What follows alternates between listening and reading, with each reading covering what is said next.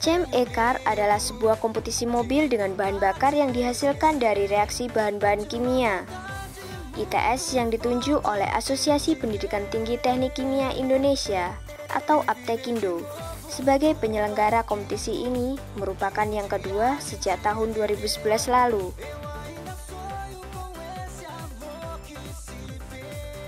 Kompetisi ini bukanlah seperti kompetisi mobil-mobil kebanyakan yang lebih mengadu kecepatan. Cem Ekar lebih menekankan efisiensi, serta sejauh mana bahan bakar yang disediakan bisa menjalankan mobil.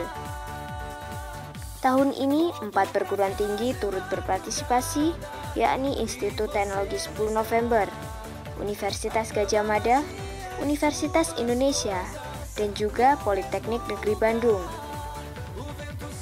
Universitas Gajah Mada mengirimkan tiga tim, Politeknik Negeri Bandung dua tim, sedangkan Universitas Indonesia dan Institut Teknologi 10 November masing-masing mengirim satu tim. Dengan adanya komunitas Jam Ekar ini, diharapkan dapat bekerja sama memecahkan masalah energi di Indonesia.